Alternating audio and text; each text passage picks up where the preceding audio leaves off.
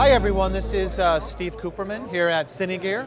Uh, really excited here in the Panasonic booth. Uh, we have our VariCam 35s, VariCam LTs, and a lot of 4K content.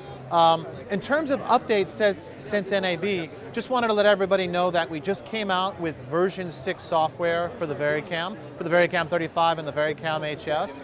Um, we continue to update uh, the camera with new features as our customers have requested.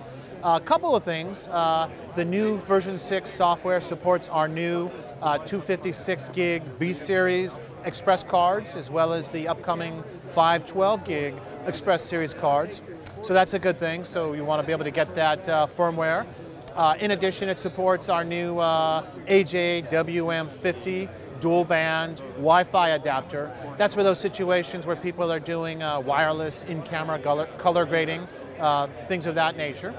Uh, in addition, we've added some enhanced uh, LUT uh, capability uh, for in-camera.